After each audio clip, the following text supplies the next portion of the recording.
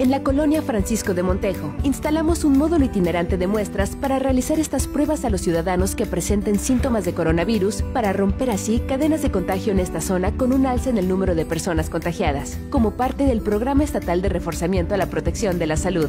Aquí en el módulo itinerante de Francisco de Montejo se están realizando las pruebas a la población en general. La prueba es para detectar COVID-19. El personal del gobierno del estado y el personal de los servicios de salud de Yucatán estamos comprometidos con la población en general para poder apoyar en estas campañas y pues la población debe de estar tranquilo porque estamos trabajando para ellos.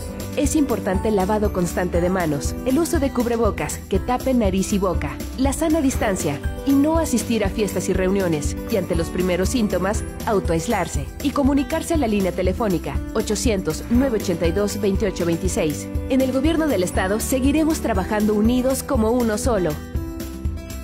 Juntos transformemos Yucatán. Gobierno del estado.